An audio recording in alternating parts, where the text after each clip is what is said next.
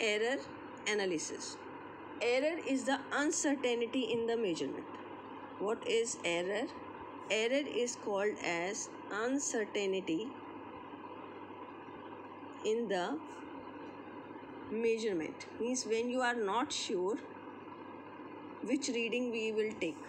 Uncertainty in the measurement is called as is called as error.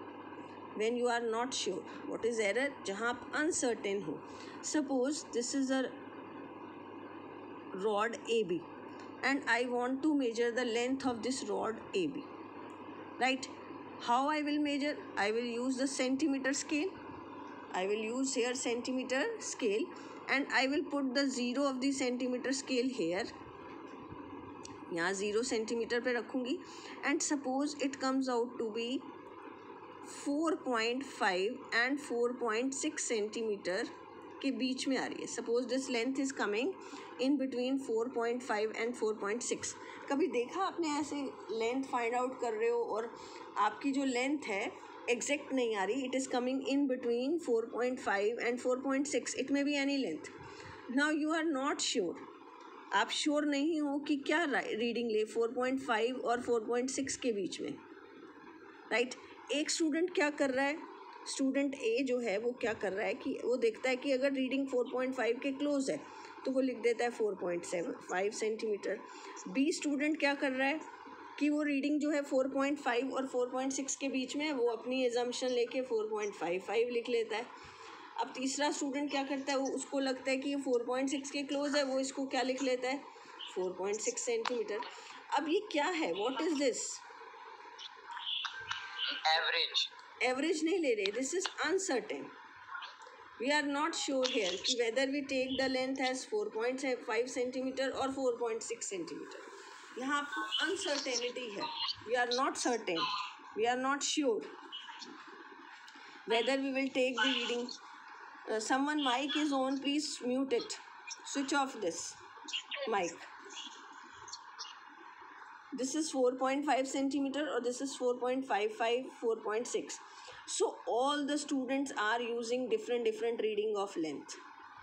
So here what is this? This is uncertainty in the measurement. This is uncertainty in the measurement. Right? Yes. Is it clear is it clear? Yes ma'am. Okay so uncertainty in the measurement is called as yes error. Suppose all of you know what is the value of acceleration due to gravity? 9.8 meter per second square on the surface of earth. And one of the student is doing experiment and he calculated g dash as experimental value of g is experimental value of g is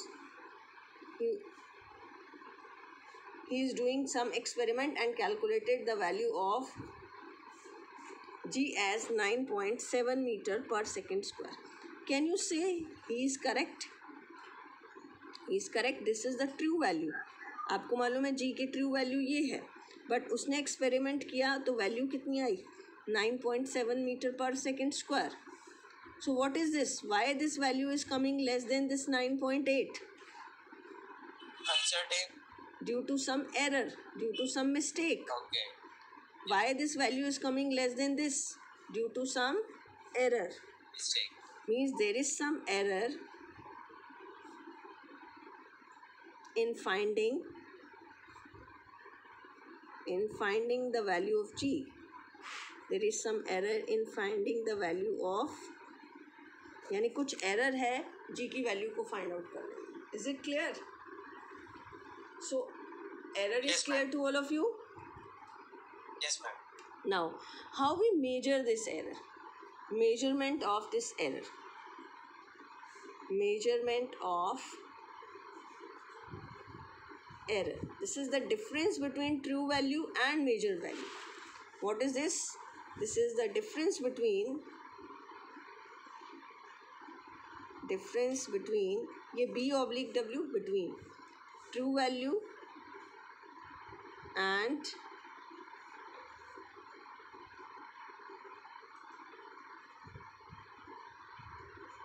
difference between the true value and measured value is called as error. Difference between the true value and measured value of a physical quantity is called as error if I will say what is the error in the value of g? What is the true value? 9.8 what is the measured value? 9.7 so how you calculate error? True value minus measured value. This is 9.8 minus 9.7 it is 0.1 meter per second square. Is it clear? Is it clear, beta? Yes, ma'am. Zero. This example I have taken that true value of g is 9.8 meter per second square and the experimental value is 9.7 so what is the error what is the error this is 9.8 minus 9.7 this is 0.1 meter per second square so error is the difference between true value and measured value. Right? Now it is not necessary that always always you know the true value. It is not necessary. In this experiment, you know that the true value of g is 9.8 meter per second. But suppose the experiment is to find the length of the rod. Suppose you have to find the length of the road AB so student A has taken the observation 4.5, second has taken the observation this, third has taken the observation 4.6. So here what is true value? What is true value? How you find the true value here? कैसे true value find out करेंगे? Here you will take the mean of all the observation. In an experiment, case is it clear beta? is it clear? In the in this experiment the true value is the Uh, yes, ma'am. suppose this is length l1 this is length l2 this is length l3 so what is the true value? This is l1 plus l2 plus l3 divided by 3 so you can note down in an experiment if we don't know the true value in an experiment in an experiment if we don't know true value then we take number of observation a1 a2 a3 up to so on an then we take a number of observation then we take number of observation and then find their mean आप क्या करेंगे यहाँ mean निकालेंगे this is a one plus a two plus a three up to so on a n divide by n this mean value is called as true value this mean value is called as this mean value is called as true value right now see this error में भी positive और this में भी negative और zero क्योंकि क्या है error अभी हमने पीछे लिखा था it is the difference between true value and measured value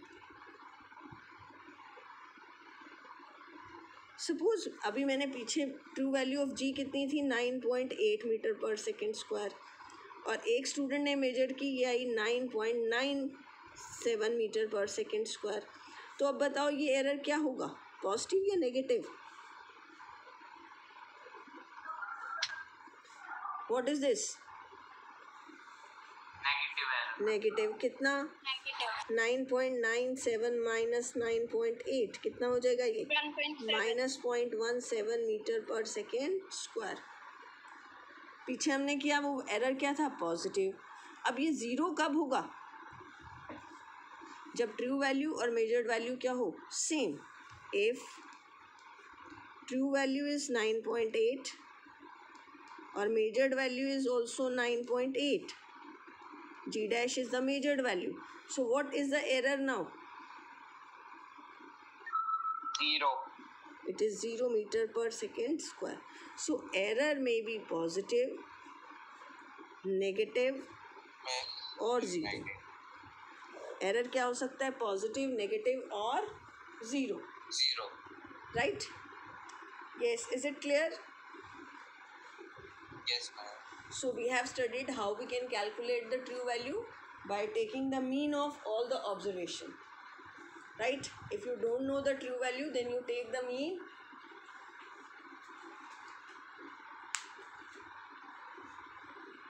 of observation और मैम हमें मेजर वैल्यू हमेशा गिवन रहती है नहीं it is not necessary measured value अगर एरर नहीं होगा तो then it comes out to be equal to true value why it is different from true value because of presence of some error.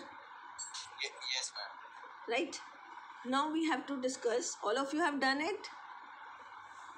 Yes, ma'am. Okay. Yes, next, ma'am. next is types of error. Next is types of error. Why this uh, error arises? Types of error. First is systematic error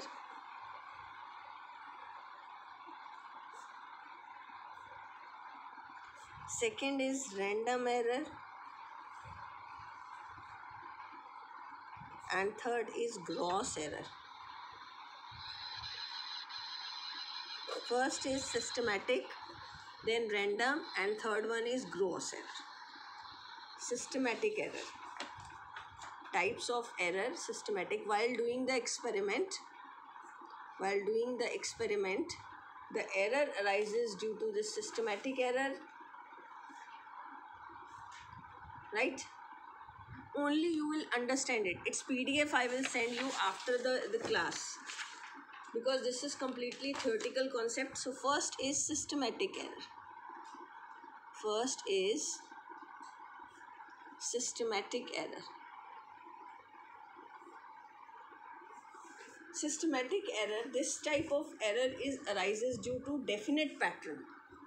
This type of error arises due to definite pattern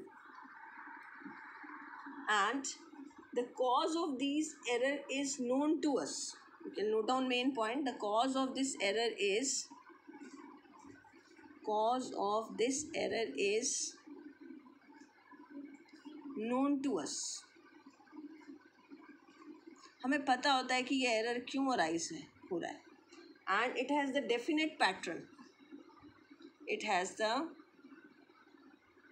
definite pattern. It may be either positive, it may be either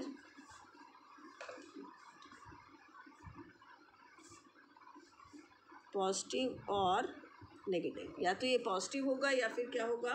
negative चलिए इसको तो हम बाद में देखेंगे it may be either positive और negative but its cause cause of this error is known to us and this error arises due to types of systematic error की बात करें अगर हम।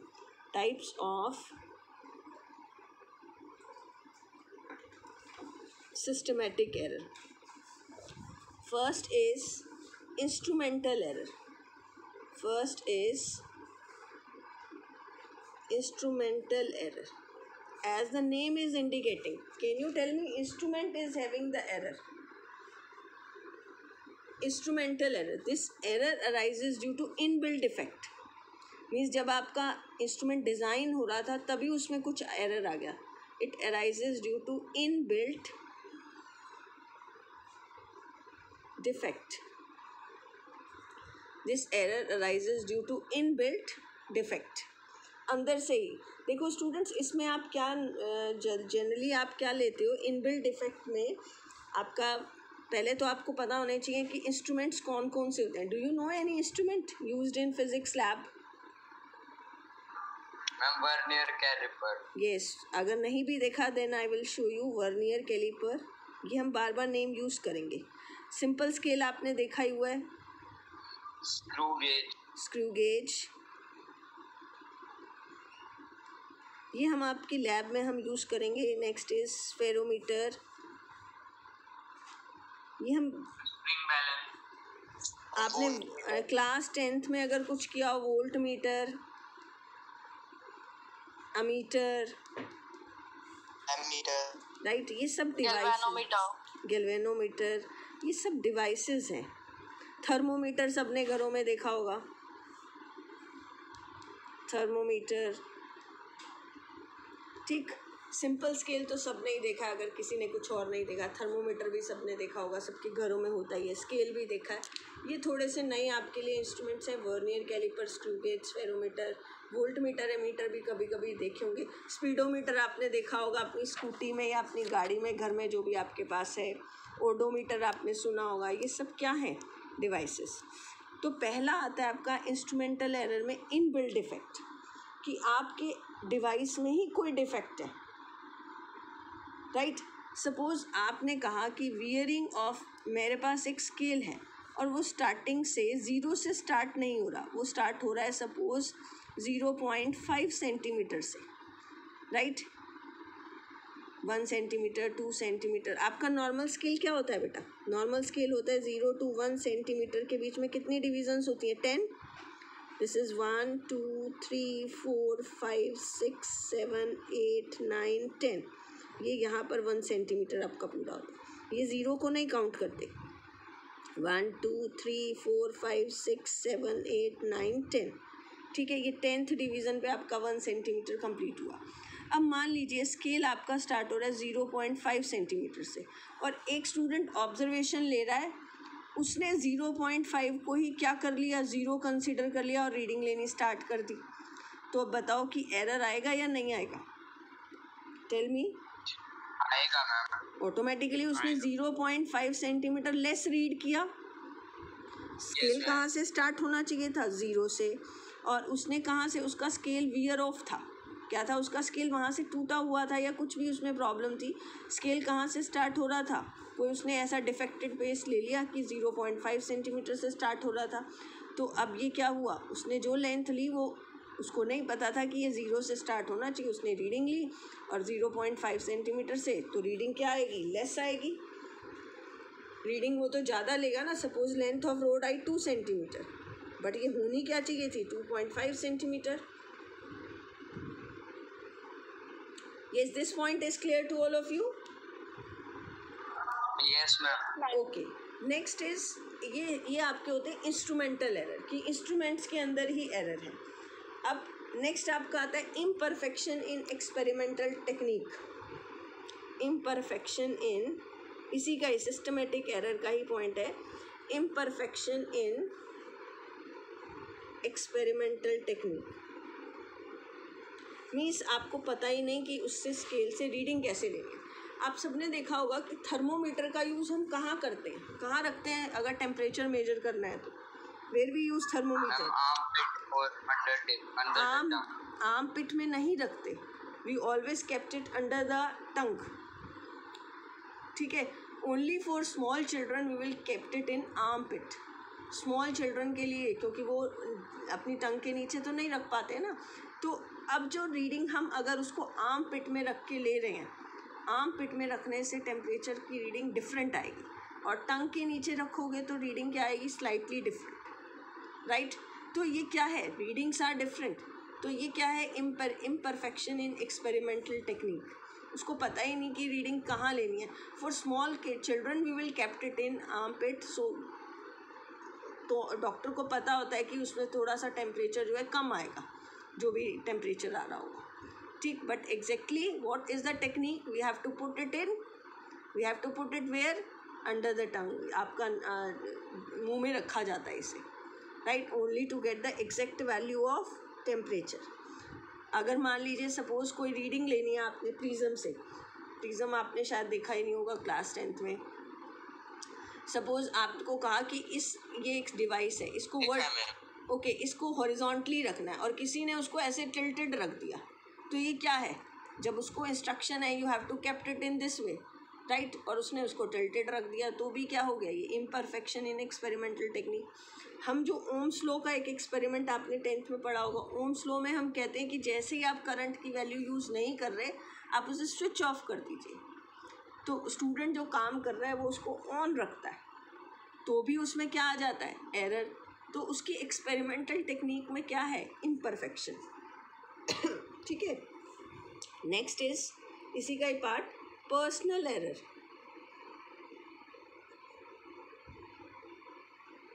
अब सेम यही बेसिकली ये दोनों ही ठीक है, पर सेम है पर्सनल एरर क्या है? It arises due to the lack of proper setting of apparatus आपने अपना एपरेटस सेट किया ही नहीं, और आपका क्या आ गया? Due to lack of lack of proper setting of setting of apparatus her apparatus को पहले सेट किया जाता है, उससे रीडिंग लेने से पहले। जो इंस्ट्रक्शन है, उसने उसको, इसको इस वजह से सेट ही नहीं किया और रीडिंग्स गलत आई। Next I error due to external causes error due to external causes external causes क्या हो सकते हैं? Like temperature pressure humidity etcetera अभी मैं आपको एक पॉइंट बता रही थी कि ओम्स लॉ में एक स्टूडेंट को कहा कि जब करंट फ्लो कर रहा है करंट आपको जब ज़रूरत है तभी ऑन करो बैटरी की अदरवाइज़ उसे ऑफ़ कर दो। ऐसा क्यों करते हैं? क्योंकि टेम्परेचर बढ़ाने से उसका रेजिस्टेंस वायर का क्या हो जाता है? चेंज अगर आपने टेम्परेचर उसमें करंट लॉन्ग टाइम तक फ्लो करता रहेगा हीटिंग इफ़ेक्ट होगा current flow for long time temperature will increase temperature increase होने से रेजिस्टेंस ऑफ़ मटेरियल क्या हो जाता है? चेंज और उससे आपका जो ओन स्लो की verification that is not possible तो error due to external causes temperature है ह्यूमिडिटी है. सपोज़ आपका वुडन एपरेटस है. वुडन एपरेटस के लिए जो वुड यूज़ की गई, वो क्वालिटी वाइज बहुत चीप थी. तो वो क्या हो गई? स्वेल आपने देखा होगा रेनी सीज़न में वुड क्या हो जाती है? वुड क्या हो जाती है? स्वेलअप हो जाती है। तो आपका जो एपरेटस है that doesn't work velocity of wind का example suppose you of the you are doing some experiment जिसमें विंड वेलोसिटी आपको ज़ीरो चाहिए। और सपोज़ विंड चल रही है, आप उसी में ही उसको काम को कर रहे हो तो उससे क्या राइज होगा? Error so this type of errors are systematic error then there is a least count error ये बहुत इंपॉर्टेंट है। Least count error is arise due to suppose for any error if I will say जैसे अभी मैंने example लिया, ये भी systematic error में ही होता है लीस्ट काउंट एरर मे भी आज कंप्लीट ना हो पाए तो हम इसको कल करेंगे। Suppose I have taken a centimetre scale it's division zero to one how many divisions are there ten one two three four five six seven eight nine ten this is one centimetre can you tell me what is the least count of the scale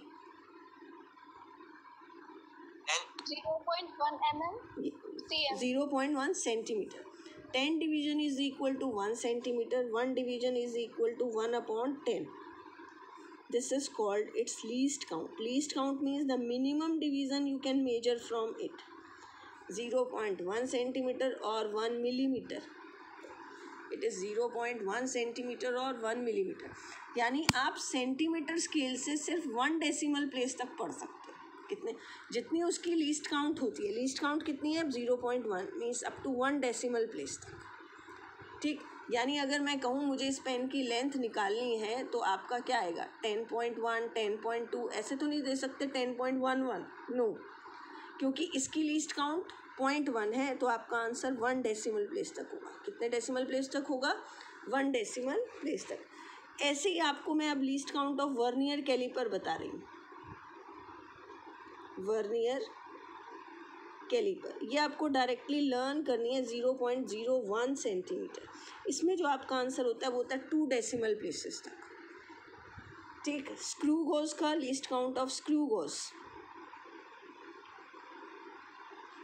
zero point zero zero one one centimetre तो अगर मैं कहूँ, इसमें से सबसे minimum reading कौन पढ़ रहा है? Screw gauge it is up to 3 decimal places it is up to 2 decimal places and it is up to 1 decimal places students you have to learn this least count of simple scale excuse me ma'am yes simple scale bolo beta ma'am अगर readings change कर दी जाए तो फिर इन दोनों के ये लीस्ट काउंट तो भी लीस्ट काउंट भी तो चेंज हो जाएँगे ना। हाँ बिल्कुल। लीस्ट काउंट अगर आपने सपोज़ इस पेन की लेंथ को मैंने मेजर या थिकनेस है। I measure the thickness with vernier calliper and screw gauge ठीक है? तो वर्नियर कैलिपर और स्क्रू गॉस से जब मैंने इसको पढ़ा तो वर्नियर कैलिपर से जो रीडिंग आएगी टू डेसिमल प्लेसेस तक आएगी और स्क्रू गॉस से कितने डेसिमल प्लेसेस तक आएगी? थ्री डेसिमल तो बताओ कौन सी ज़्यादा एक्यूरेट होगी? थ्री वाली या टू वाली? थ्री वाली। दैट इज़ मोर एग्जैक्ट ठीक है? So this type of errors are included in systematic error तो अब इन सिस्टमेटिक एरर को हम कैसे मिनिमाइज कर सकते हैं? By improving the technique by settling the instruments better तो you can improve it you can improve it. Is it clear? So systematic error is clear to all of you? Yes ma'am